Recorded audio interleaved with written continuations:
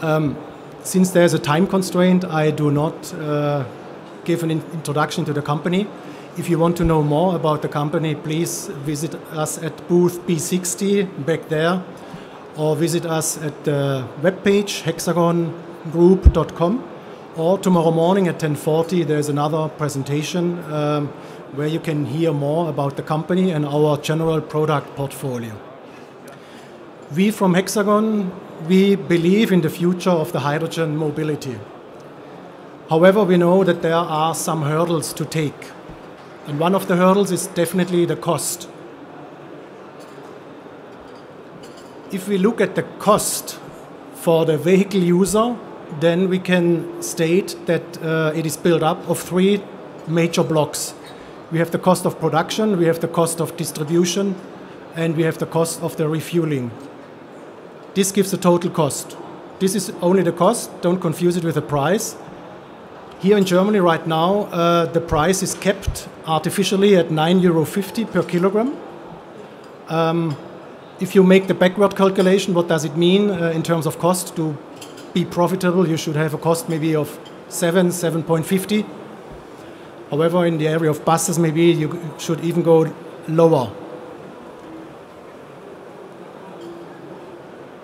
There are different ways of distributing hydrogen from the production site to the refueling station.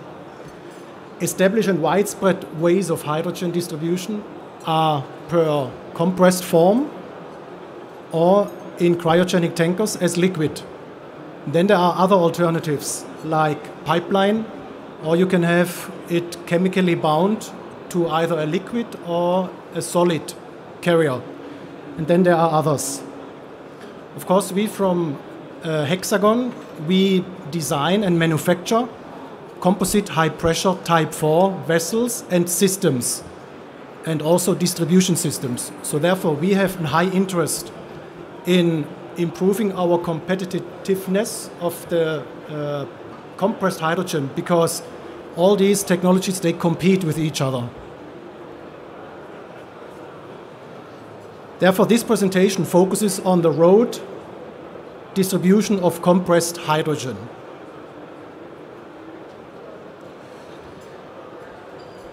Compressed hydrogen has been distributed for decades. It's not something that we have invented. And it is distributed in the industrial gas segment. There's a huge uh, demand for hydrogen in the industrial gas uh, area. And predominantly type 1 steel tube trailer, uh, steel tube trailers are used. And in 2014, however, we, together with a partner company, we were pioneers in bringing the first Type 4 full composite lightweight distribution system into the market. Since then, 30 of these X-Store systems, that is our brand that we use, are in operation for compressed hydrogen. If you compare the two technologies, then there are significant differences. Steel is, has usually lower operating pressure, 200, maybe 250 bar. It is heavy. It has a limited payload because it, they reach immediately the maximum gross vehicle weight. Usually they are also available just in one length, so there, there's no flexibility in sizes. There are no short tube trailers available. And, but the big advantage is they have low purchasing price. but given the low payload, um, they have high operational costs because they have to drive a lot to deliver the same amount of gas. To the opposite, our X-Store modules in full composite uh, construction, they are lightweight, they are available in different pressure levels, 300, 500 bar, maybe in the future even higher pressure levels. Uh, due to the lightweight, we can carry much more gas. Today, our flagship carries 1,100 kilograms of uh, hydrogen. They are flexible in sizes, but the disadvantage is they have high purchasing price. But given the high payload, they have much lower operational costs. Now, with this, I built a case study. And the goal of the case study is to uh, make a TCO calculation, so total cost of ownership, and also calculation of the cost of the distributed hydrogen. And I also compare a composite with a steel system. If you want to do a TCO calculation of a distribution system, you have to take into consideration three components, major components. You have the tractor that pulls the whole thing, you have the distribution system itself, and then you have the trailer chassis that is underneath. Sometimes the distribution system and the chassis they form one integral unit. This is in Europe called a battery vehicle. And the opposite is the containerized solution. You need the following input for a thorough and complete total cost of ownership calculation. You have the equipment related input, which is the price, of course. You need the, distribu- uh, the, the depreciation time of the equipment, which is different from country to country. And then you have all the OPEX related input, like driver's cost, fuel cost, wear and tear, repairs, insurance, and also very important mandatory periodical inspection. This is very important for the distribution system itself.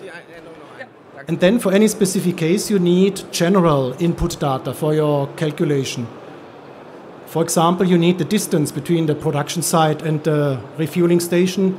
You need the demand at the refueling station. You also need a discount rate because for the TCO we use a net present value calculation. The project horizon is also important. How many years you are looking at and then there are some others, like the concept of the refueling station, the average velocity, and so on and so on. So with this, you can build a TCO calculation. Real life usually looks pretty complex. We, in the future, we assume that you will have centralized production hubs. And from those production hubs, then several refueling st stations are served. However, they all differ in distance and demand and even in concept. They can be private or they can be public. This is too complex to build a case study right now in this presentation. Therefore, I made a simplified base case. We have the production hub, we, have, we look at one refueling station. And I choose uh, these average values 100 kilometer of distance and 500 kilograms in demand. The 500 kilograms correspond to roughly 100 cars per day, passenger cars. Or if you think of a bus station, we are talking about 20 to 25 buses per day. So it's pretty realistic. And then we have the general input data for this base case 30 years project lifetime, 10 years of depreciation, then 7% for the discount rate. And then we use also, uh, for the sake of simplicity, tractor cost of 1.40 euros per kilometer, and for the chassis also 0.1. That gives a total of 1.5. This is a worst case at the same time. Why is it a worst case? Because here you have a dedicated tractor for the dis distribution system, which normally you don't have. In reality, you usually have tractors shared by different distribution systems.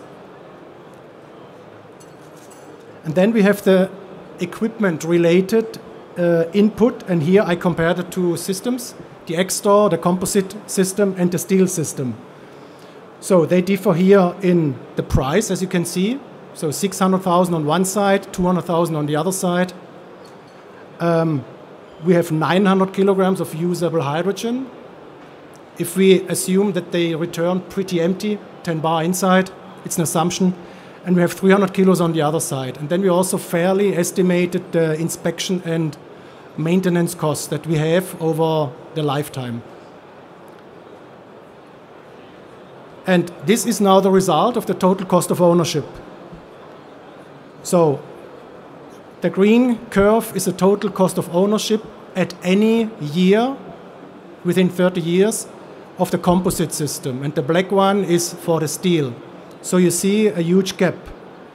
And of course, the longer the, the time horizon is, his, the, the bigger gets the gap or the advantage of the composite system.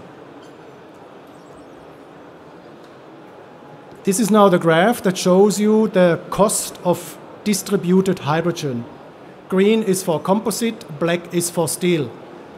We have in the first 10 years a higher value because we still have the depreciation of the system. After 10 years, the depreciation is taken out, and then you only have the pure operational costs. Therefore, the price or the cost falls down. The thin line is the average at any given year. So you see the huge difference between composite and steel. So this is now one case study, the base case. What I did now was I took this model and I changed values. So I created different data sets and I changed those values that have probably the biggest impact here, which is the distance and the demand at the refueling station. And then I created a graph. And this is the graph for the composite uh, distribution system. And it follows a certain logic. Means the more you, uh, the, the, the higher the demand is, the lower the cost of hydrogen gets. And the more you have to drive, the higher the cost gets. The red circle gives you the value for the base case. In this case, 0.76 euros per kilogram of transported hydrogen for this uh, specific case during the depreciation phase. This is the, the graph for the steel unit. You see higher values. Also in the red circle, the value for the base case, 1.13, roughly 50% above the composite value. And finally, I made a direct comparison between steel and composite. Green is the composite uh, distribution system, and gray is the steel one. And with only very few exceptions, that is, with extreme low demand, uh, the composite wins over the steel system in total cost of ownership and cost per distributed kilogram of hydrogen. I conclude my presentation now with several statements. Composite uh, Type 4 distribution systems are reliable and proven in the field. They considerably reduce TCO and cost of transported hydrogen. They contribute to the success of compressed hydrogen. And a general observation the cost of delivered hydrogen comes down with higher demand at the station. And to give you an, a, a level, we can easily reach 0.5 euro per kilograms or even below that if we only had demand that is high enough at the station. Last sentence, what does it mean? We just need more vehicles on the road. Thank you very much. Thank you very much, Hartmut Fehrenbach. Are there any questions from the audience? No? Yes?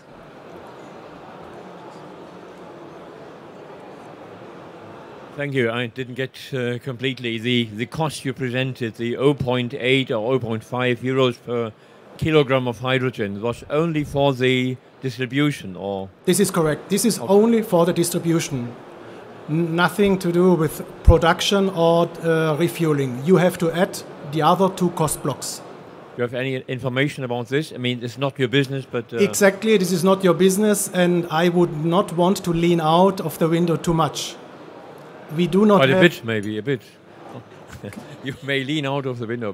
Can any any figure a rough figure for? very hard for me.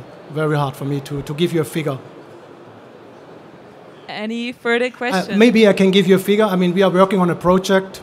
I don't know, tell you the name, where we define a target, and the target that we would like to see is three euro for the production, one euro for the distribution, one euro for refueling. Whether we can achieve this I don't know. This, for the distribution, it looks very positive. Thank you. Further questions from the audience? Okay, then uh, I have one. You've mentioned for the X-Store uh, the payload of 1,100 kilogram. What do you predict for the future uh, for the transportation amount of hydrogen in trucks? Yes, correct. So the flagship today uh, carries 1,100 kilograms nominal payload uh, there are initiatives now around to change the standards and if they come reality, then maybe from 2021, the latest 2023 on, we have new standards in place for the distribution of hydrogen, and with the new standards, we might reach a payload of 1,500 kilograms per truck. Thank you very much. Further questions from the audience? Otherwise, we will close this discussion. Thank you very much again. If you have further much topics well. to talk about, please go to booth B60 to discuss the topics.